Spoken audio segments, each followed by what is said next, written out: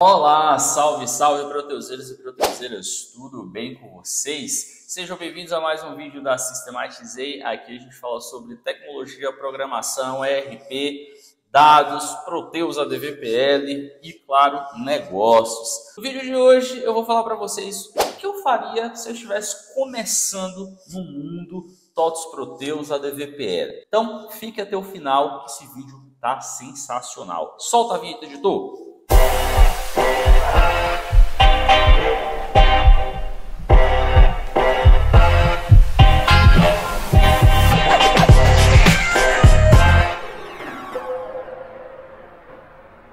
Então, vamos lá. Você caiu de paraquedas no mundo TOTS Proteus e não sabe por onde começar. Eu também já passei por isso. Lá em 2014 eu entrei em uma empresa para ser programador e aí me falaram que tinha um ERP com linguagem própria chamada ADVPL. Você pode estar assistindo esse vídeo, você pode ser usuário, você pode ser um consultor de sistemas, ou você pode ser um programador ou querendo ser, né?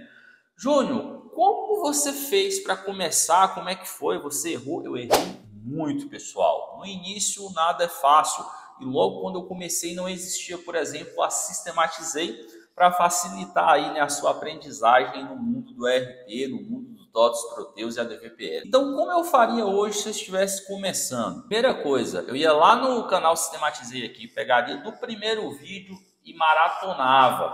Ao invés de você ficar aí na Netflix, faz uma maratona desses vídeos, tá? É de graça, não vai pagar nada. Assim você vai pegar tudo do início, lá quando foi criado o conteúdo. Para quem não sabe, o canal do YouTube, né, sistematizei os vídeos de Proteus e a DVPL que tem aqui, eu tento passar para vocês um pouco do que eu vi na minha carreira. Então você que está começando a aprender a trabalhar com Proteus, você precisa saber regras de negócio, como que um sistema funciona. Ah, o ERP serve para quê? Para registrar tudo dentro de uma empresa, né? contas a pagar, receber, notas de entrada, saída, e às vezes a empresa utiliza outras funcionalidades, RH, comércio exterior e por aí vai. Então você precisa aprender primeiro o que, que é feito fora do Proteus para que a empresa precise utilizar o sistema. Ah, a empresa precisa registrar uma compra de um produto, sei lá, desse iPad, desse copo, desse Moleskine, desse MacBook precisa registrar isso dentro do Proteus, então você precisa de uma nota fiscal de entrada. O que tem dentro de uma nota fiscal de entrada? Tem fornecedor, tem produto, tem impostos, tem endereço de entrega, enfim, endereço de compra. Então você precisa aprender como isso funciona. Então o que, que você vai fazer para ficar melhor isso, né? Toda empresa ela tem ou deveria ter uma base de testes. Se não tiver, você vai fazer o download do Proteus da base de testes, né? vai instalar no seu computador, não precisa de pagar a licença para ter a base de testes gratuita. E você vai ter lá a empresa 99 e tudo mais. Você vai cadastrar fornecedores, produtos, você vai brincar com o Proteus, tá? Então, primeira coisa que você precisa aprender é instalar o sistema. Isso vai te dar aí autonomia, porque quem aprende não depende, tá? Às vezes tem gente que está trabalhando com Proteus, mas só faz isso dentro da empresa. Por que não ter o sistema no seu computador para que você possa implementar testes, dar entrada numa nota, cancelar, cadastrar um cliente, um fornecedor, por aí vai. Se você tem o intuito de se tornar um programador, você precisa aprender uma coisinha chamada algoritmo raciocínio lógico, tá? Isso aqui, esses são dois passos fundamentais para quem quer se tornar um programador. Você precisa pensar como uma máquina, né? Você precisa ter um pensamento ordenado. Então, você pode buscar até aqui no canal mesmo um vídeo de algoritmo de raciocínio lógico.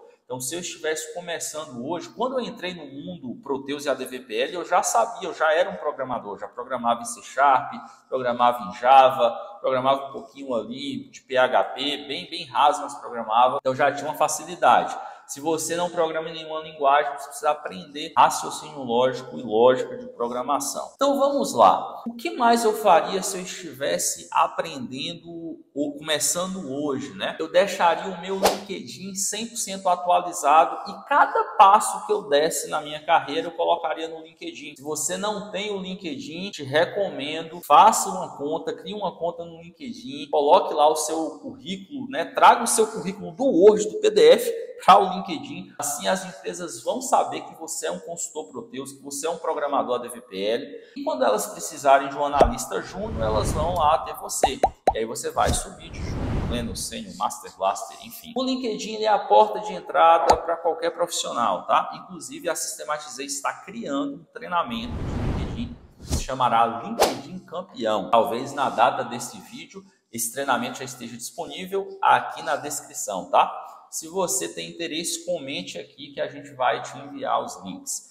Então vamos lá. Dentro do LinkedIn é legal você postar o que você faz no mundo né, Proteus, que você está aprendendo, porque assim você vai atrair outras pessoas que também estão no mesmo caminho que você. E Claro, vai fortalecer o seu networking. Networking hoje é a chave de tudo. Se você está rodeado de pessoas que têm o mesmo objetivo que você, a chance de você chegar mais rápido a esse objetivo é muito grande.